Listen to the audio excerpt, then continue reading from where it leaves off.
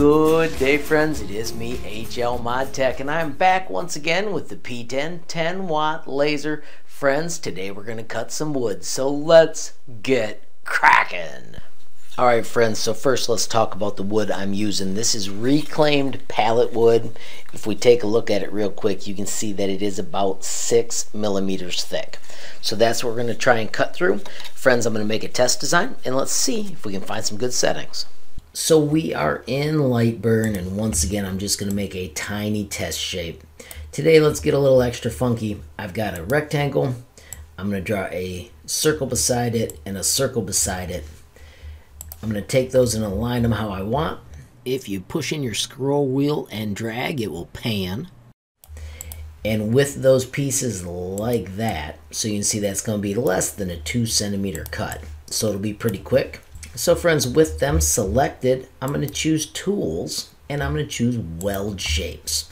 So now I've got that little bit of a custom shape that we're going to cut out, and it will be quite quick. So let's go over here to our cuts and layers, and my red setting is where I usually start. So I have got a speed of 400, and then I had had 9 passes on my last laser. I'm going to try this with 5 passes and 100% power.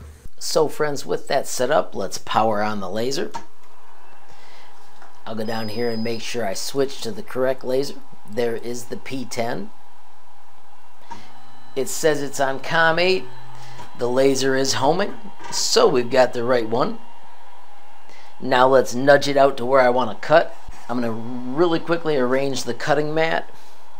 Let's do some shift nudges to get this out into that area where I want to cut. Now I picked this area because it's pretty decent for the camera. You're going to cut wherever you want your material to be so it's most efficient. This just works for me. We do need to set our height so I'm going to flip the kickstand down. I'm going to loosen the nut in the back.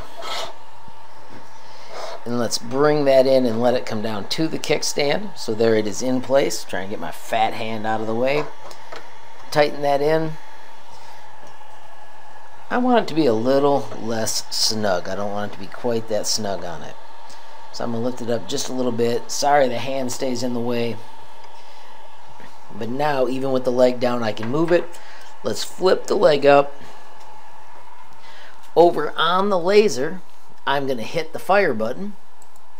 So that way we start to get our dots so we can see where we're tracking. I'm going to get that to the bottom left hand corner. Let's hit frame and see if it fits. That fits totally good. Of course, friends, it is time to grab the safety glasses and let's see if we can cut out this tiny part.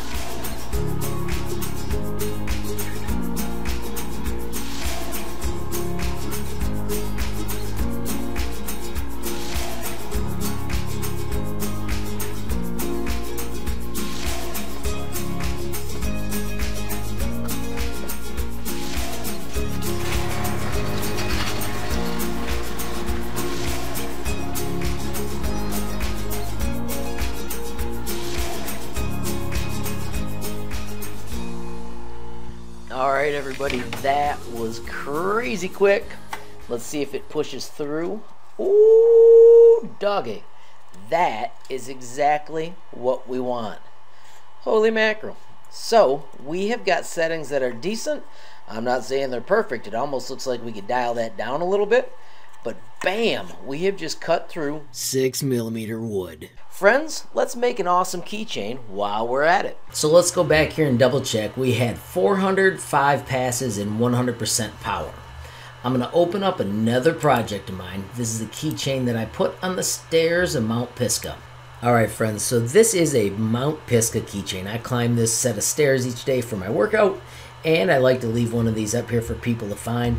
I'm going to real quickly do file save as, and I'm going to save these settings for the P10. I like to try this with every laser.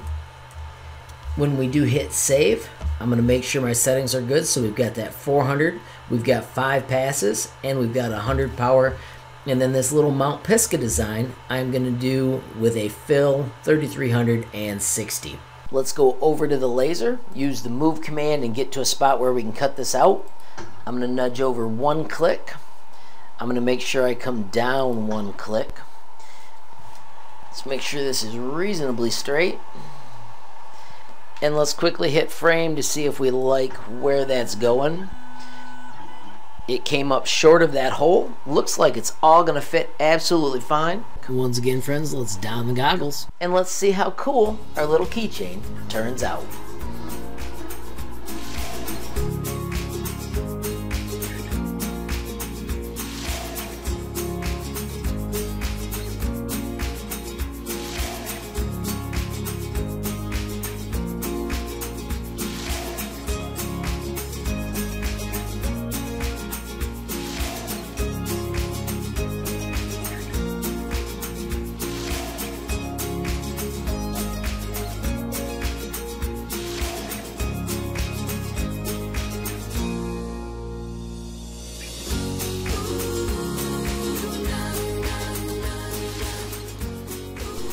Alrighty, friends, moment of truth.